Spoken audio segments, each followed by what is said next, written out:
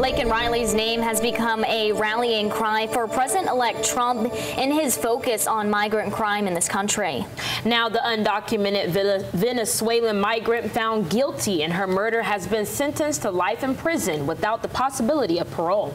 As Christine Frizal tells us, a gang he was believed to be part of appears to be expanding rapidly in this country.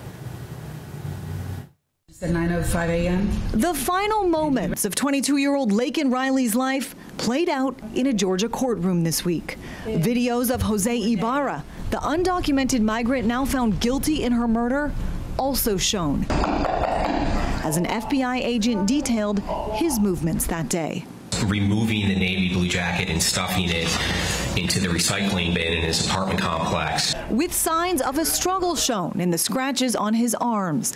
The trial also revealing Ibarra was given a taxpayer funded flight from New York to Georgia and his connection to the vicious Venezuelan gang, Tren de Aragua. Videos like this of alleged gang members in Aurora, Colorado, just the beginning. The Department of Homeland Security now warning Tren de Aragua is operating in at least 16 states. Tennessee just the latest to sound alarm bells and ask for additional funding to help fight the threat. Primarily right now, we see them engaged in human trafficking, and those, act, uh, those operations are happening in each of our large cities. The director of the Tennessee Bureau of Investigation says TDA, as they're known, has started to battle other gangs and cartels to try to take over the drug trade. They shot an individual, a cartel member, 31 times, uh, broad daylight, on video and posted it to social media. There are growing signs this reality is expanding fast across the country. I am officially declaring TDA a foreign terrorist organization.